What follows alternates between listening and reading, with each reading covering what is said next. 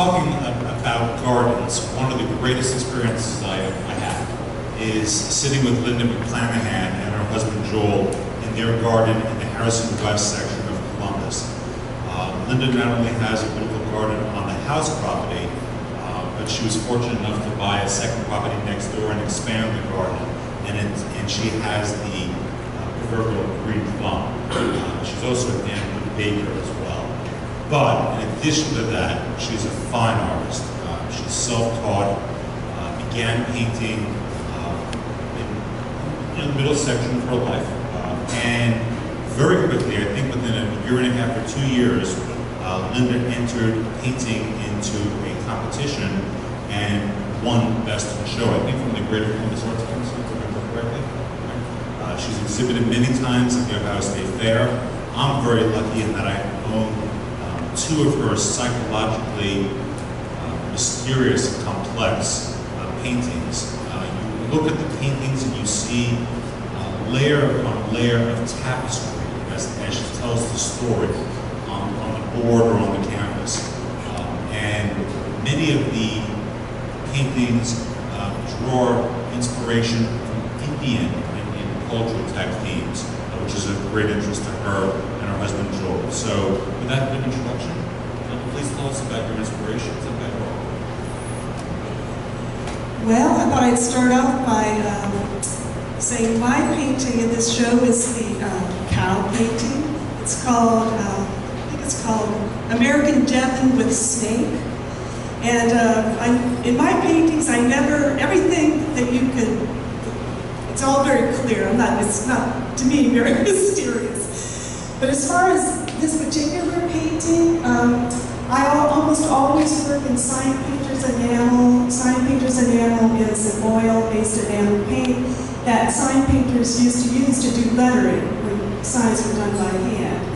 Um, uh, that's not done that much anymore, but what that paint is used currently for is for pinstriping cars. So it's a very tough, um, lovely paint a lot of saturated color self-leveling, all the little like, nerdy things that artists like me might be attracted to. The subject of that painting, uh, American Devon, um, I don't know how many of you grew up in a, a junior high or studied in a junior high or high school that had those socialist realism paintings in them of the, you know, the oxen uh, pulling the, the Conestoga wagons out west. And, I was always uh, fascinated by there was an oxen, and so I thought I would look it up. And it turns out that those oxen were American milking Devon. It's a certain kind of cow. And it's what I, you, I call a homesteader's cow, in that um, it was a kind of a compromised uh, animal that would give meat, give dairy, and also be used as a draft animal.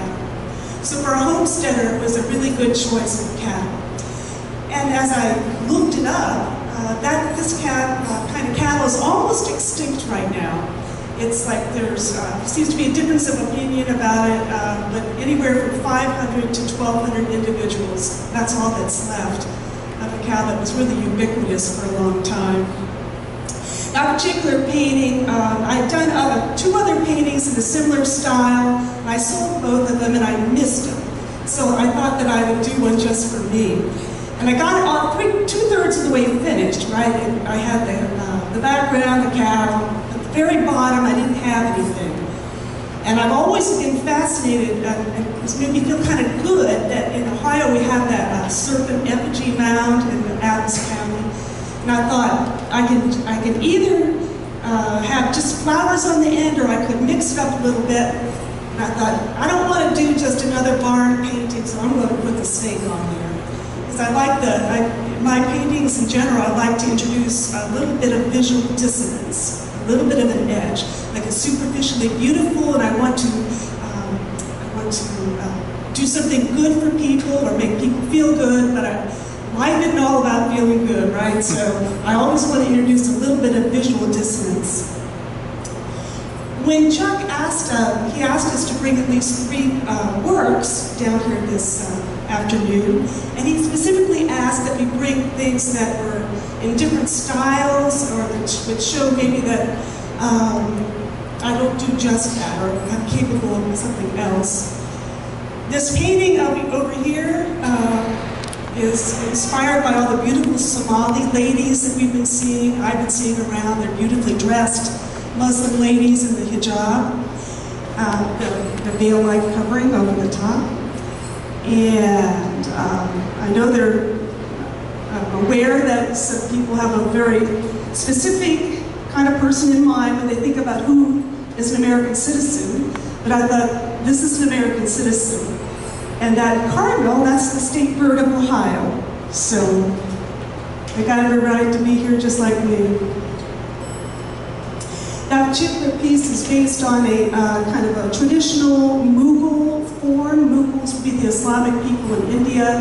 And there's a whole tradition of painting courtesans, and there's very specific rules about how, how they are um, designed. And that's really directly taken as far as the uh, gestures of a lady from that tradition. I've done a lot of traveling in India and Asia, and I'm very deeply um, influenced by visual mayhem that you see, you see in India. Anything goes. Uh, all colors go together. That's, that's my advice to you. The thing in the middle is that I just finished that, and uh, it's called Good Dog. And I've been kind of, uh, for some, who knows why these things happen, but lately I've been fascinated by medieval depictions of hunting dogs. And I also painted that because uh, I just, been, I was feeling sort of like something that rhymes with itch. So I decided to do like a meme dog. The outside of that uh, work is, um, it's done on plywood. Um, I usually have a carpenter friend do my frames for me if I don't buy them commercially. And I got tired of pestering him, so I decided to come up with a frame that I could do myself. And that frame is plumbing strap, the kind of steel strapping that plumbers use to hold up pipe.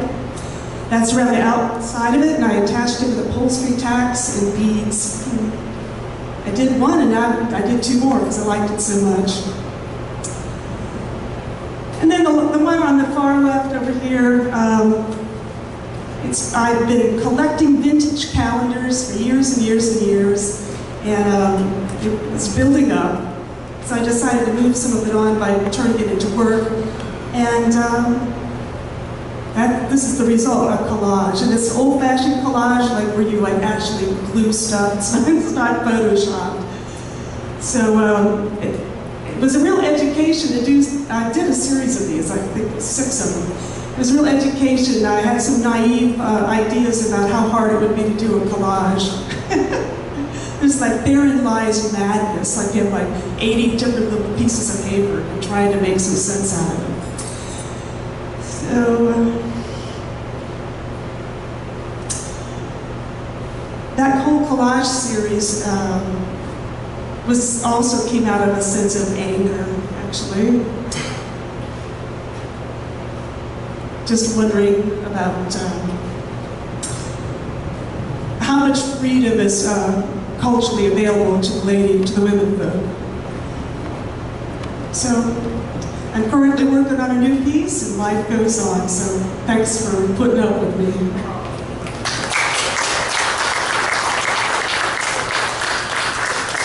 Lynda, Lynda, before you exit the stage, um, where, where do you paint? I, I paint in the attic. I have a little, a little dormer, it's about the size of these tables. You know, you know, I have a full life. I'm a gardener too, and uh, I really believe everything there is to know in life you can learn out there in the garden. So that's my teaching. Oh, how did I come up with uh, using the oil-based enamel? I used to work at the city with a uh, guy named Randy Black, and he had actually uh, studied with a sign painter. And when the sign painter uh, retired, he gave Randy all his paints. And uh, we were just talking one day, and uh, he's, I said, I, want, I really want to get back into painting. He said, well, try this paint. Like, once you, once you work with it, you'll never go back. And it was true. So I, I just pretty much 100% of the time use oil, that oil-based enamel. What, what's your website? Uh, just Google my name, Lynda McClanahan. It's www.lyndamcclanahanart.com and have lots of, um, have almost all my work on there. So if you have some few, few minutes to while away, stop by. And then you entering into a new show. Can you tell me about it before we begin the program today? Oh, yeah. Uh, yeah, uh, the work I just started yesterday was for a specific show, which, by the way, as an artist, you never know if you're going to get in, right? so I'm doing it for the show, but that doesn't mean I'll necessarily get in. But anyway, the show is uh, centered, the theme of the show is synesthesia, which is kind of like the, a crossing of the uh, perceptual senses. So, like somebody might uh, like see a color and hear a musical tone, or they might uh, uh, uh, see color and, and, and, receive it as a scent, as a, as a smell. So it's kind of an interesting. Um, uh, it's interesting to think that, I mean, we know not everybody sees things the way we do, right? But some people see these things really different. I mean, absolutely like way different than we do. And I, I know a lady from Germany who is, who has that condition too. Yeah. And by the way, I saw some of those gardens you talk about in Berlin. It's just so sweet, isn't? Yeah.